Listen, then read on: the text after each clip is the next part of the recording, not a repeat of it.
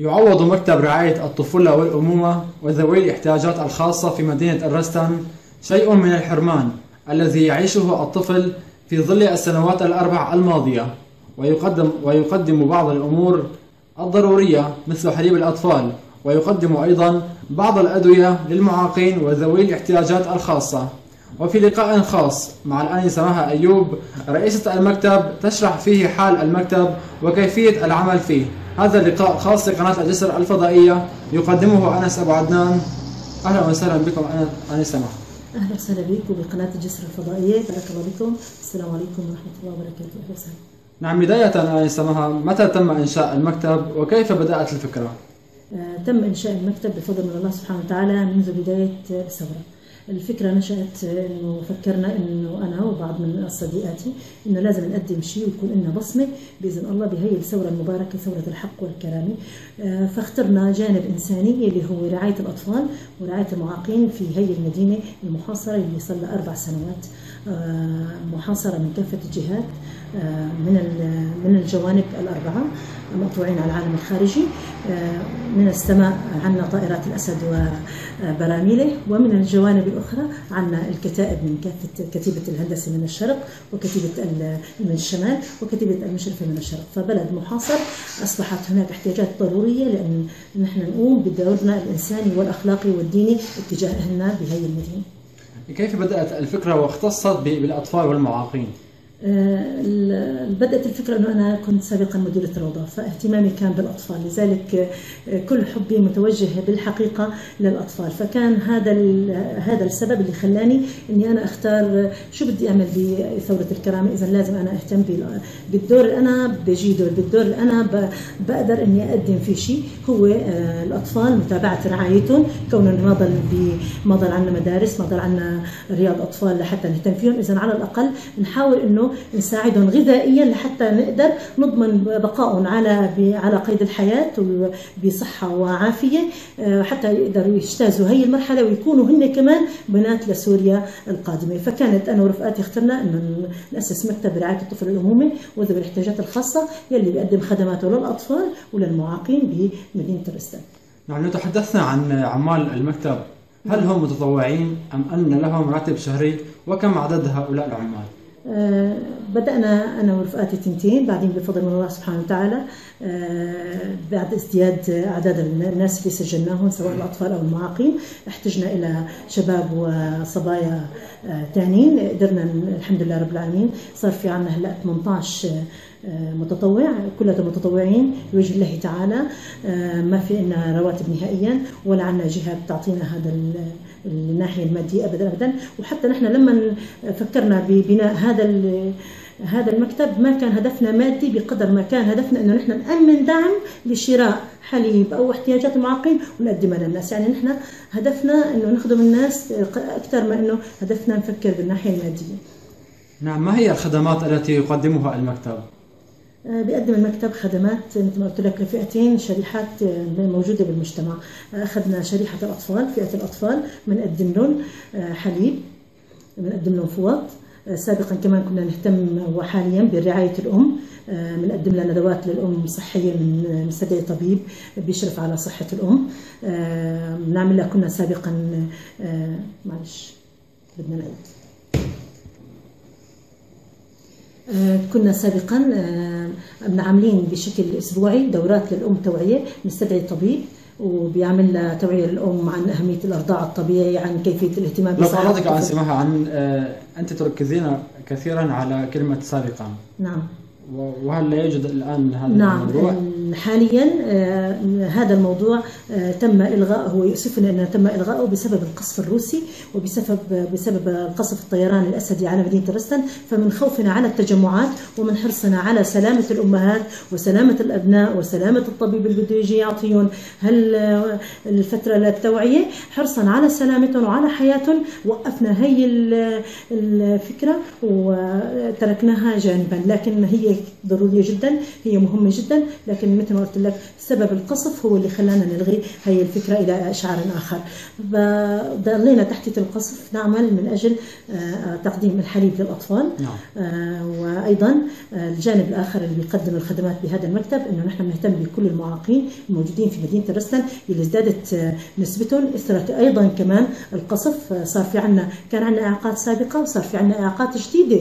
كان سابقا ما كان عندنا إعاقات البتر بهالدرجة الموجودة. هلأ ما كان عندنا هلا ازيات العيون اللي مثل هلا موجودة. ما كان عندنا إعاقات الشلل مثل هلا ما موجودة. يعني نتيجة القصف ونتيجه التركيز الحصار على مدينة الرستن واستهدافها من كافة الجهات صار في عندنا إعاقات كثيرة. لذلك نحن هلا نهتم بجانب المعاقين. الرستن وريف حمص الشمالي بالكامل يعني. إن شاء الله. فعم نهتم فيهم إن شاء الله من أجل تقديم خدمات ولو بسيطة لهم حتى نتجاوز نحن وياهم نخفف عنهم معاناتهم.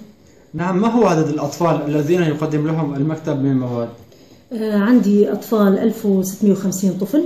بنقدم لهم الحليب من عمر يوم لعمر سنة وأنا طبعا بتمنى إنه اقدم لهم الحليب لعمر سنتين كونه فتره الرضاعة هي نعم. سنتين لكن لقله الدعم آه، عم نكتفي لعمر السنة لحتى بس يجتاز مرحلة الخطر ومرحلة الجوع وكذا آه، المعاقين عدد المعاقين عندنا 1250 معاق كمان من مختلف الإعاقات اللي موجودة عندنا ماذا تقدمون للمعاقين؟ آه، المعاقين بنقدم لهم حاليا بالحد الأدنى بنقدم لهم الفوط لفئه المشلولين وهي أهم شيء لأنه المشلول بحاجة هي الماده جدا جدا هي أهم شيء عنده.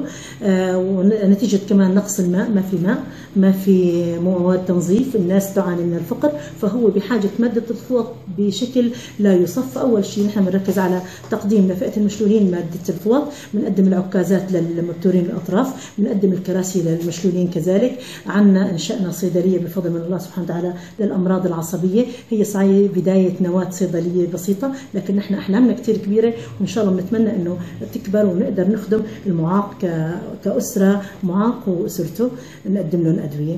بنحاول نأمن كمان عدد من الأمور الخدمية الأخرى للمعاق. مثلا ينتقل من مكان لمكان المعالجه الفيزيائية كمان ناخذ بإيده لمكان المعالجة الفيزيائية ولو إنه هو نحن في مدينتنا نفتقر لهذا الجانب بشكل كثير كبير بسبب الحصار. آه أنا سمعها قبل التصوير كنا عم نتكلم إنه آه، المكتب كان اسمه الريف حمص الشمالي نعم. بالكامل، لماذا اختصر هذا المكتب على الرستان فقط؟ نعم بداية بداية إنشاء المكتب آه، كان عدد الموجودين في مدينة الرستان فقط بما لا يتجاوز 200 شخص نتيجة ترحيل كل الناس وهجرتهم من مدينة نعم. الرستان آه، وكان حتى بالريف كمان ما كان عندنا أعداد كثير كبيرة. فلذلك بدأنا أنه نحن نخدم الأطفال والمعاقين بمدينة الرستان وريفها كل الريف الشمالي. لكن لما عادوا الناس ورجعوا وسكنوا ببيوتهم رغم القصف ورغم إنه بيوتهم مقصوفة ورغم إنه ما فيها أدنى أدنى وسائل الحياة ورغم إنه أبسط أمور الحياة هون بمدينة رستن آه، مفقودة أو بالريف آه، رجعوا سكنوا لأنه هي صار واقعهم هيك. آه، كتر العدد عندي كبر العدد. هل الكبر هذا خلانا وقله انعدام الدعم؟ ما ضل في دعم بكفي لكل الريف. اقتصرنا عادين إنه فقط عم نخدم مدينة رستن يؤسفني جدا. أنا بتمنى يكون في عندي دعم إني أخدم مو بس أطفال الريف الشمالي نعم تكلمنا في, في هذا في هذا نعم في هذا السياق ما هي الصعوبات التي تواجه المكتب؟ الصعوبات اللي بتواجه المكتب أول كثير طبعا آه، لكن أول صعوبات هي بتواجهها قلة الدعم. منعدم تماما كل الدعم اللي بيجينا هو من معارف من أهل من أصدقاء من أقارب بالخارج. خاص يعني. نعتمد بشكل خاص. آه، ما عدا بفضل من الله سبحانه وتعالى في عنا بشكل شهري منذ عام 2014 لغاية الآن. في عنا لجنة الوفاء التركي لاغاثه محافظة حمص آه، بارك الله فيهم. ملتزمين معنا بشكل شهري بيعطونا مبلغ معين من المال بنقدر إنه نحن نقدمه للناس مرات حليب مرات فوط لكن بشكل عام المكتب يعاني أول صعوبة إنه ما في دعم له اثنين بنعاني صعوبة إنه تأمين المواد بسبب الحصار. يعني حتى أحيانا ما بنقدر نجيب الحليب لمدة أسبوع واسبوعين كونه نحن بنجيبه بطرق كثير صعبة لحتى نوصله لداخل المدينة. عندنا كمان صعوبة بالتواصل ما في عندنا مثلا سيارة لأنه نحن نروح نزور المعاقين لأنه نحن نشوف آه، آه، هي لأنه وقت بيكون في قلة دعم مالي. ما ما بتقدر إنك أنت نعم. تقدر تشرف على كل العمل نتيجة إنه كل حركة بدها بدها مال. آه، الصعوبات الثانية بنعاني منها إنه عدم وجود طبابة للمعاقين، عدم وجود مراكز صحية، عدم وجود أطباء بي- بي- بيشرفوا بشكل كامل على آه، الإعاقات، عندنا كثير من الصعوبات نحن بنتمنى بالمستقبل إنه تزول. نعم أنسي مها بالنسبة لخدمة توزيع الحليب؟ ما هي الآلية التي تعتمدون عليها؟ وكيف يتم تأمين الحليب في ظل حصار الخانق على ريف حمص الشمالي. نعم. آه، اعتمدنا آلية منذ آه، بداية نشأة المكتب إنه نحن أول شيء نعتمد على بطاقة اللقاح. يعني الطفل بيكون متلقح من آه، المستوصف بطاقة اللقاح بنحدد آه، بنحدد ال- عليه المواليد. وبنقسمها آه، كان طفل صغير عندنا حليب رقم واحد من عمر يوم لعمر ستة أشهر. ومن ستة أشهر بنعطيه رقم واحد حليب. ومن ستة أشهر لسنة بنعطيه رقم اثنين. آلية إنه بنترخ بناخذ توثيق كامل للعائلة على بطاقة اللقاح. وبيتم إعطائه كل أسبوع حسب حاجته. إذا كانت الأم بترضع فنحن بنعينه إعانة كل أسبوعين علبة أيضا بسبب قلة الدعم. وإذا كان الوالدة ما بترضع الأم ما بترضع أبدا أبدا بنعطيه بشكل أسبوعي علبة حليب. فالطفل يعني بياخذ من عنا شهريا أربع علب حليب. هي أقصى آه، طاقة بنقدر نقدم له إياها. يتم تأمين الحليب ب- بصعوبة جدا جدا جدا. أحيانا نضطر نحن نقطع مع البحرة أحيانا نجيبه على الموتورات أحيانا نشتري بيشتروا الشباب حواجز النظام لحتى يتم إدخاله لمدينة الرستن. يعني أنت دخل على مدينة الرستن سلاح ولا تدخل علبة حليب. فكثير عم نعاني جدا جدا من من تأمين الحليب للأطفال. لكن بفضل من الله سبحانه وتعالى منذ أربع سنوات ما توقفنا. الله سبحانه وتعالى دائما عم يفتح لنا أبواب وعم يهيئ لنا قلوب رحيمة لأنه تمدنا سواء بالدعم أو إنه تامن لنا الطريق لحتى ندخل الحليب لأطفالنا الرسل لكن نحن هلأ حاليا بالفترة اللي هلأ نحن موجودين فيها فعلا على شفا كارثه إنسانية في مدينة الرسم سواء بالنسبة للحليب وسواء بالنسبة لاحتياجات المعاقين سواء من طعام أو لباس أو أو تدفئة كوننا نحن هلأ ببدايه الشتاء على أبواب الشتاء صحيح. والوضع عنا كثير صعب نعم ما هي أنواع الإع- الإعاقات التي يتم تسجيلها في هذا المكتب؟ أنواع الإعاقات اللي نحن بنسجلها كافة أنواع الإعاقات بنسجل الإعاقات الحركية بنسجل الإعاقات الذهنية بنسجل الإعاقات المختلفة والإعاقات الحواس. كل الإعاقات آه، مسجلين عنا. لكن أكثر شيء نحن بنقدر نقدم لهم هنا الخدمات هن للإعاقات الحركية كوننا نحن بنقدر نقدم لهم سواء آه، العكازات أو أو ال- أو الكراسي. فهدول أكثر شيء أو فئة المشلولين نقدم لهم فوق. يعني هدول أكثر الاعاقات اللي عم نقدر نخدمهم لكن نحن بنتمنى وحلمنا إنه نقدم لكل الإعاقات آه، احتياجاتهم. نعم أغلب حديثنا كان عن المعاناة والمعاناة التي آه، مرتفقة بالدعم. هل هناك مصدر للدعم؟ ومن أين يأتيكم الدعم؟ وهل هو خاص؟ سبق وقلت واشرت أنه نحن ما في عنا دعم خاص. ما في عنا دعم عام ما في عنا آه، جمعية راعية. نحن بشكل شخصي عم نقدم الدعم للمكتب والحمد لله رب العالمين. لكن نحن فعلا بحاجة قلوب تطلع على أطفال الرستم بحاجة آه، آذان صاغية تحس إنه هون في عنا ناس تحت القصف. من أربع سنوات آه، مقطوعة عن العالم الخارجي عم يعيشوا ظروف حياة استثنائية ب- بتاريخ استثنائي بفترة استثنائية أخي الكريم. يعني الأطفال اللي عنا هلأين هن بيكونوا نايمين.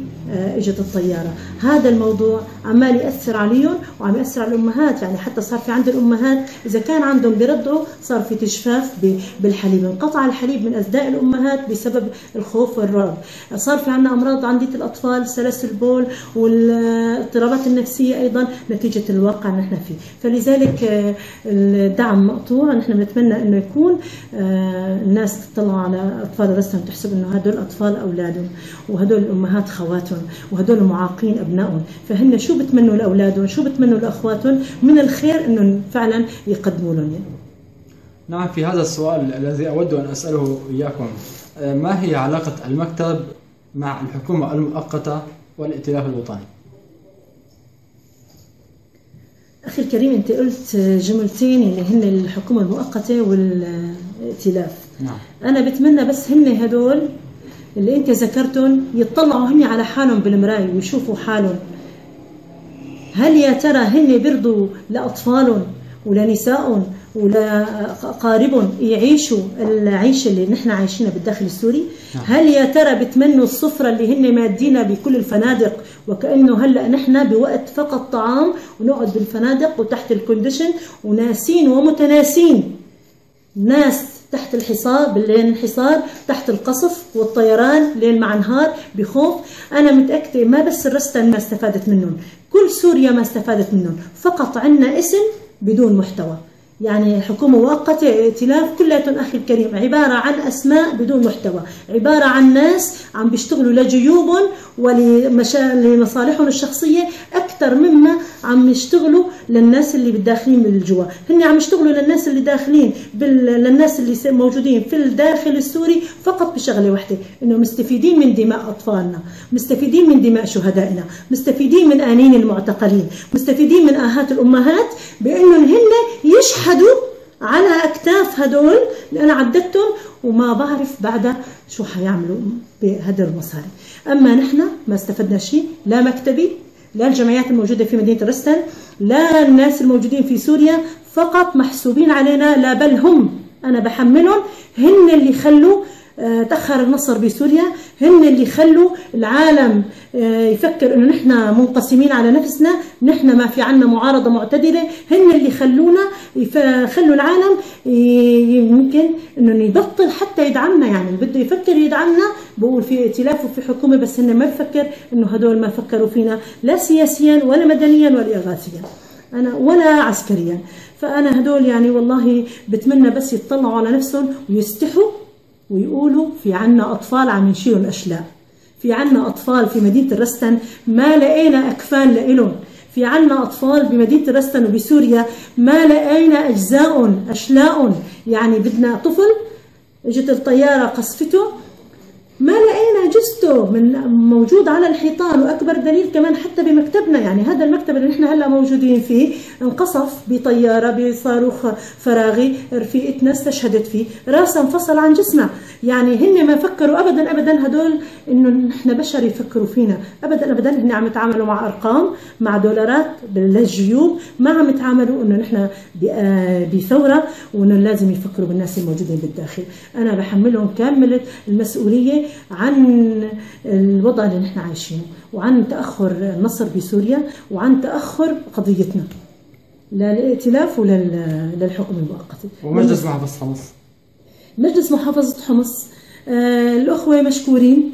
بعتقد إنهم هن آه أيضا في عندهم ظروف خاصة لإلهم ما أنا مانع على اطلاع فيها لكن لم نستفيد أيضا كثيرا من مجلس محافظة حمص بمدينة الرسنة تحديدا. آه، أنا بالمكتب بفضل من الله سبحانه وتعالى قدرت آه، قدرنا أنه نحن نأخذ منهم مرتين فقط حليب. مرتين بأربع سنوات أو خمسة سنوات ثورة بعتقد يعني مسألة في إلى صحيح. 20 إشارة استفهام نعم. في إلى 20 رسالة حنقول ما عتب حنقول رسالة حب من خلالها نقول يا أخواتنا يعني نحن وياكم نحن أكثر شيء حمص والرستن أكثر شيء المتضررين بالثورة السورية صحيح. من أول المدن والمحافظات اللي قمنا وأولادنا ونسائنا هن أكثر الناس اللي عانوا فأنا بتمنى يكون مسؤوليتهم واهتمامهم بالريف أكثر بتمنى يكون قلوبهم لنا ومعنا أكثر بتمنى انهم يقولوا هدول أطفالنا هدول معاقيننا يا ريت نطلع عليهم أكثر آه هي رسالتي لهم آه عهدت علي منهم الخير شفت منهم الخير لكن أنا بتمنى إنه يكون الخير أكثر لأنه أنا بعرف لما بيكون هناك إرادة ستكون هناك طريقة. نعم. يعني أنا تعلمت إنه إذا كانت هناك إرادة ستكون هناك طريقة. فلو كان عندهم إرادة يعني الرسالة الأخيرة اللي بوجهها لهم إنه نحن وأنتم إخوة وأهل فأنتم شو بتحبوا لأهلكم أنا بتمنى أنكم تحبوا لنا وإن شاء الله منهم حنلاقي الخير لأنه هن نبع الخير أهل حمص هن دائما وابدا أهل الخير ونحن بعمرنا ما كنا غير نحن وأهل حمص واحد فكيف مجلس محافظة حمص نحن دائما تحت لواء هذا المجلس نتمنى أنه يكونوا هن على قدر المسؤولية أنه نحن آه، معاهم وبنفس بنفس الطريق سائرون وبنفس الخندق حتى مصر أو الشهادة إن شاء الله. نعم. ما هي الكلمة الأخيرة التي توجهها الآنسة الآنسة مها أيوب ولمن؟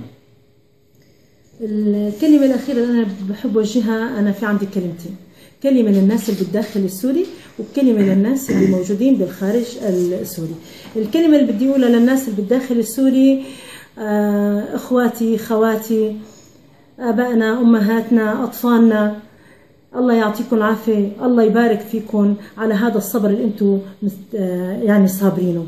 وإن شاء الله يا رب كل لحظة إحنا بقيانين فيها في سوريا. هي عبارة عن رفع درجات لنا هي عبارة عن آه، قرب من الله سبحانه وتعالى. هي عبارة عن جهاد. هي عبارة عن آه، طريق للخير إن شاء الله. بدي منكم إنه نحن نصبر. نحن فعلا أقسمنا ثورتنا ثورة حق وقلنا من أول يوم ما إلنا غيرك يا الله. هالكلمة هي أنا بتمنى تضل بقلوبنا تضل بأفعالنا. ما بيهمنا العالم ال- البرة شو بيقولوا ما بيهمنا الناس شو بيفكروا ما بيهمنا إنه يقولوا في نصر ولا ما في نصر. أملنا بالله كثير كبير رح ننتصر شاء من شاء أبى من أبى. لكن بدها صبر وبدها تصبر. الله يعطيكم العافية للجميع. وقبل أيديكم وقبل جباهكم على هذا الصبر اللي أنتم صابرينه. لأنه فعلا نحن على مر التاريخ البشري ما في حدا صبر قد الشعب السوري وخاصة اللي بالداخل. فأنا بتمنى يا رب أنه يكون لكم كل رفع درجات وجهاد في سبيل الله يحسبوا الله سبحانه وتعالى عنده ويقبل مننا ومنكم هذا الصبر الله سبحانه وتعالى. ويبشرنا ويفرحنا بهذا الصبر بأنه يكون هناك نصر وسيكون بإذنه تعالى. هاي رسالتي للداخل أنه يتحملوا ويتصبروا رسالتي للخارج للخارج أنا برجع بقول إنه الناس اللي أول شيء كمان تنقسم لقسمين. الناس اللي بيقربونا يلي هن أبنائنا وأهلنا الناس السوريين يلي طلعوا من سوريا سواء من رستن أو من أو من من كافة أنحاء سوريا وطلعوا لبرا. أنا بتمنى منكم إنكم ترجعوا تفكروا أنتم طلعتوا وما نكون عم تعيشوا الأشياء اللي إحنا عم نعيشها. لكن يا ترى حسوا فينا وقولوا في إلنا أهل لحتى نساعدهم لحتى ندعمهم لحتى نبعث لهم لحتى نآزرهم. أنا بتمنى إنكم تتذكروا إنه في لكم أهل هون برا آه، جوا. آه، للناس اللي اللي هن العالم كلياته أنا بتمنى منهم إنهم فعلا يفكروا بالمعاقين يفكروا بالأطفال يطلعوا علينا بقلوب رحيمة. هن دائما آه، الإنسانية موجودة وإن شاء الله حتبقى. والنبي صلى الله عليه وسلم قال الخير باق في وفي أمتي إلى يوم القيامة. نرجو من قلوبكم نرجو منكم النظر إلى أطفالنا إلى معاقنا بما ترونه أنتم أهلا له آه، على على مبدأ كل يعمل على شاكلته فإن كانت شاكلتكم الرحمة وال- والعطف وال- والإنسانية انظروا إلينا بإنسانيتكم لأن أطفالنا ومعاقينا وكل من في الداخل بحاجة إلى هذه الإنسانية نعم في سؤال فضولي آه، أنت امرأة كيف تقومي بالعمل ما بين المنزل والمكتب؟ والله أنا آه، هذا السؤال هلا فاجأتني فيه؟ آه، للحقيقة وللصدق مشان يعني أنا أكون صادقة مع نفسي ومع الآخرين. أنا آه، بالبيت ما, عندي عمل ممتلكة وأهلي. والدتي سافرت على قطر قد ما أصاب خوف من الطيران. فاخترنا إنه نحن مشان نحافظ على حياتها لوالدتي. بعثناها على قطر وإخواتي نصف موجودين يعني بالخارج ونصف هون معي. فأنا عايش هون أنا ورفيقتي بمنزل أهلي. من أجل هي الرسالة اللي أنا قلت من أول يوم إنه نحن طالما قمنا بهي الثورة يجب أن نتحمل يجب أن نتحمل. ماذا تفرز الثورة؟ فأفرزت الثورة أطفال جياع آه، أطفال عراة آه، معاقين بدون طبابة آه، محتاجين كثيرين. يجب علينا أن نقوم بواجبنا الديني والأخلاقي اتجاههم فبقيت أنا هون برستن لمساعدتهم. لذلك أنا بالبيت آه، ما بشتغل الله يعطيهم العافية. من هون بقدر بوجه رسالة لرفقاتي بارك الله فيهم. كلياتهم على اهتمامهم فيني أنا لحتى أنا أقدر أنجز هذا العمل. وللشباب اللي بيشتغلوا كمان معي بالمكتب الله يعطيهم العافية. إنهم كمان هن مآزرين هذا العمل. ومن أيضا لكل إنسان بمد يد مساعدة سواء لي بشكل شخصي سواء للمكتب بشكل عام سواء لأي إنسان محتاج الله يبارك فيه. ال- بقدر بقول إنه آه اختصارا لهم مثل ما قال النبي صلى الله عليه وسلم الجزاء الأوفى. آه بارك الله بكم. جزاكم الله عني كل خير لكل من يقدم مساعدة سواء شخصية أو آه أو عامة. آه أيضا الله في عون العبد ما دام العبد في عون أخيه. كل الشكر أيضا لقناة الجسر الفضائية يلي أتاحت لي هذا هي السواعات القليلة. إني أنا أنقل هموم مدينة الرستان آه، ومتاعبها متاعبها من خلال معاناة أطفالها ومعاقينها. لعل وعسى نجد قلوب تسمع وآذان تصغى نعم في نهاية هذا اللقاء نشكر الآنسة مها أيوب على حسن استضافتها لنا. كما نشكر السادة المشاهدين على حسن المتابعة. من هذا المكان كان معكم أنس أبو عدنان مراسل قناة الجسر الفضائية مدينة حمص. الله يبارك فيك.